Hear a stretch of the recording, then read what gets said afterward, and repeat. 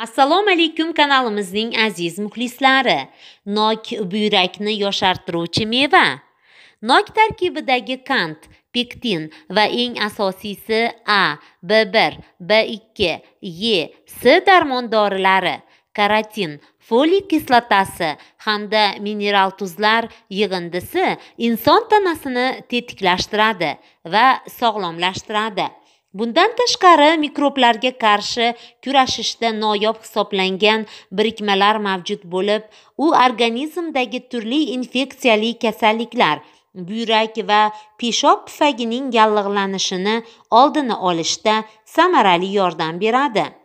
Nok qon tomirlarini kuchaytirib buyrak tomirchalariga yoshartiruvchi ta'sir ko'rsatadi.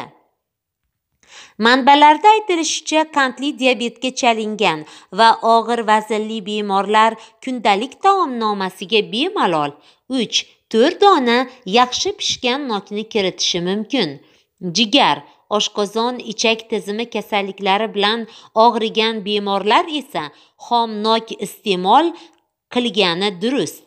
Yangi tayyorlangan nok sharbati organizmdan zaharli chiqindilarni chiqarish xususiyatiga ega bo'lgani uchun antibiotiklar bilan davolashdan keyin tozalovchi va tiklovchi vosita sifatida qo'llaniladi.